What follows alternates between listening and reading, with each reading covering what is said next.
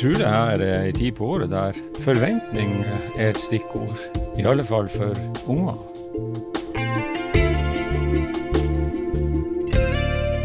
Unger har forventninger til hva de skal få i julegave, og så har de kanskje også forventninger til hvordan voksne reagerer på det de får i julegave fra unger.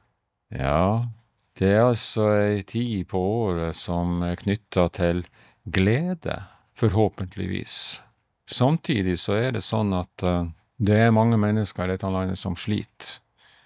For 2000 år sia var det også en del forventninger ute og gikk. Guds eiendomsfolk, Israel, jødene, de var igjen okkupert. Denne gangen så var det romerne som regjerte i landet deres.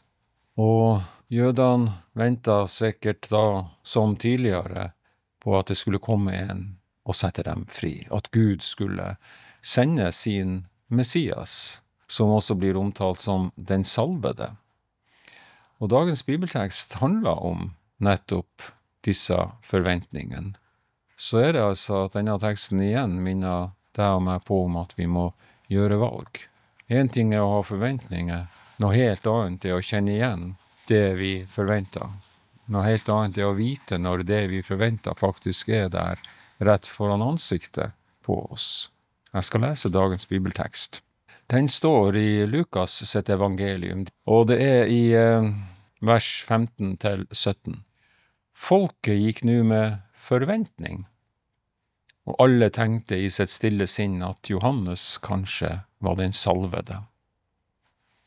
Da tok Johannes til orde og sa til dem alle, Jeg døper dere med vann, men det kommer en som er sterkere enn jeg, og jeg er ikke verdig til å løse sandalreima hans. Han skal døpe dere med Den hellige ånd og ild. Han har kasteskovla i handa for å rense kornet på treskeplassen. Hveten skal han samle i låven sin, men agnene skal han brenne opp med en ild som aldri slukker. Ja, tolv dager for julaften, der mange går i kirka for å høre juleevangeliet, for å få opp julestemninga, for å høre kjente og forhåpentligvis kjære julesanger, for å høre presten snakke om håp og lys i mørketida. Så kommer det altså en bibeltekst som setter fokus på at vi må gjøre valg. Vi må gjøre valg. I går var det snakk om eh, dette hjulet som eh, kjørte gjennom kornet for å skille det som kunne spises, ifra det som ikke kunne spises. Så her er det altså igjen brukt det samme bildet, om at uh, noe skal samles i en låve, og noe skal brennes opp. Og hva er det Johannes snakker om? Ja, Johannes han oppfordrer folk til å erkjenne sine synder.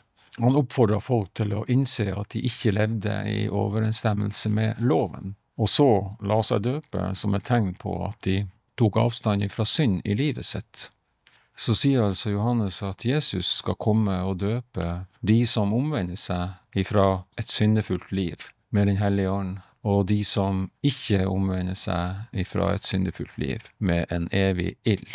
Det er ikke akkurat et uh, budskap som uh, er egnet til å juble. Men jo, så er det det. Det kommer an på hvilket valg du gjør.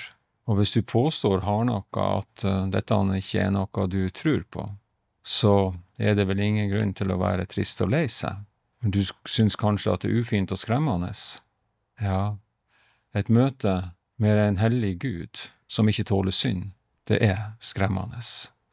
Men igjen så handler det altså om at jeg og du har et valg. Vi har et valg. Og jeg velger å holde fram det gode budskapet Gud ønsker å ha en relasjon til meg og deg. Gud har skapt meg og deg for å være i relasjon med Han. Men Gud har noen regler for den relasjonen. Gud tåler ikke synd. Gud tåler bare det som er rent. Så er det altså ingen mennesker som kan leve et rent liv. Det var det bare Jesus, Gud i menneskeskikkelse, som klarte. Men det holdt for Gud.